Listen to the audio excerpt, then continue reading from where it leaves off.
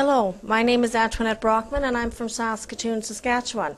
I took the teacher's training in uh, May of 2007 on the psychosomatics of body mind communication.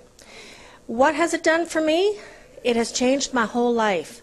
It has made me look at others in a different way. And in when I say different way, I mean in a very positive, caring, connecting way. As a social worker, I've taken many courses and I've taken many therapies. This is the most effective that I have found.